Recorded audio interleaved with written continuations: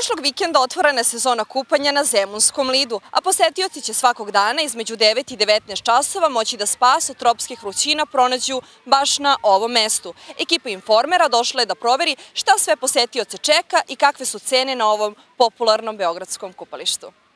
E, prethodni vikend je bilo sasvim ono pristojan broj ljudi. Opština je ono sredila sve što je trebalo da sredi, most, toalete, vodu, tuševe i to. I za prvi vikend m, sasvim, sasvim, bilo je lepo vreme što najbitnije, malo prevruće, ali je baš bilo dosta ljudi. Na Lidu ćete moći da uživate sve do početka septembra, ali vas podsjećamo da budete obazrivi jer na Lidu nisu redki ni virovi. Uređena je plaža i tereni za sportove na pesku, pijaća voda i tuševi, a o bezbednosti građana brinu spasilačke ekipe kao i dežurna medicinska služba.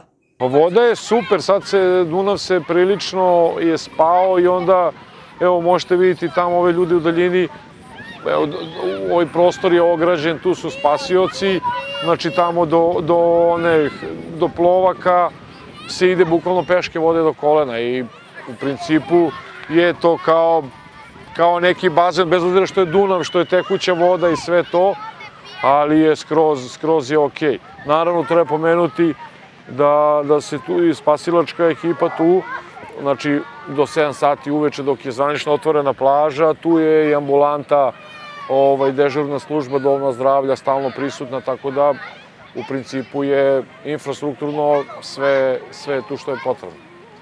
Tokom trajanja letnje sezone za sve posetioce organizovani su različiti programi u okviru manifestacije Leto na Lidu sa sadržajima za sve generacije, poput kreativnih radionica za decu, sportskih i kulturno-zabavnih sadržaja – Svakog utorka i petka od 11 časova organizovane su besplatne šetnje zdravlja u trajanju od 2 sata. Građani će biti u prilici da upoznaju veliko ratno ostrvo kao netaknuti biser prirode. U pratnji vodiča iz gradske opštine Zemun građani će u toku šetnje saznati o istorijatu ostrva, režimu zaštite prirode, biljnom i životinskom svetu, brojnoj i raznovrsnoj ptičijoj populaciji. Polido ima lepu peskovitu plažu, ima odličnu prirodu, ima mir, tišinu, ima 7 km staze za šetanje kroz, kroz jezgro ostrova gde vi idete kroz sladovinu, prirodu, možete da vidite ono, i razne životinje i, i, i biljke i sve to, ali u suštini najbitniji taj mir i odmor i tišina, a u, u centru ste Beograda. I ovog leta je besplatan prelazak pešaka preko pontonskog mosta između Zemunskog keja oslobođenja i Velikog ratnog ostrava na Dunavu. Uprkos poskupljenjima, Lido je i dalje pristupačna destinacija koja ima selektivnu ponudu po sistemu za svačiji džep. Cene su po meni pristupačne u odnosu na gradske lokale, na neka druga mesta i to zato što baš iz tog razloga što dolaze ljudi iz Zemuna, ono, u principu mora, mora se voditi računa o tome da budu pristupačne svima, ono, flašica vode je 100 dinara, mislim, to je malte neko u supermarketu. Osim prirodne lepote, resursa, klime, ambijenta, Beograđani ističu da Lido ima i povoljne cene, pa i četvoročlanoj porodici ovaj vid relaksacije pored reke ne predstavlja veliki teret za budžet. Volim da provodim cijelo leto ovde i od malena sam ovde i baš volim nekako i opušteno je mesto i nije toliko puno i prosto volim baš da dolazim ovde da i ne treba toliko para da se troši, niti bilo šta, na primjer kao na Adi Ciganli i prosto, na primjer, kafa jedna je oko 170 dinara i stvarno su pristupačne cene i ono, ništa se ne plaća toliko.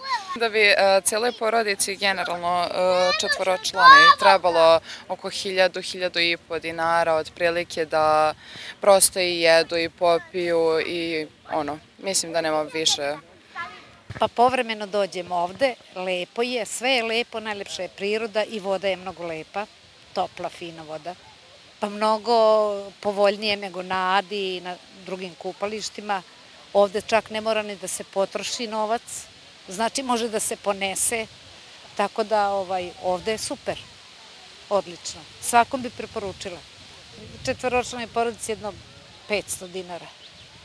Tako otprilike. Ništa više. Sasvim je ugodno, prijatno je u odnosu na sve ostale cene i mislim, za svakog je, ovo je za svakoga, zaista za svakoga, i sa dubljim džepom i sa manjim džepom, pogotovo u današnje vreme, kad treba malo da se štedi, kad je ova situacija kakva je, takva je, tako da, mislim, što da ne, ovde lepo. Pa jako često provodim, gledam da čim se vreme malo prolepša, da svaki moment iskoristim u ovom raju ovde. A najviše mi se dopada ovo prostranstvo ovde iza nas, kao što možete da vidite, prosto odmaram oči, deklaustrofobišem se, tako reći. Pa pristupačne su cene i to.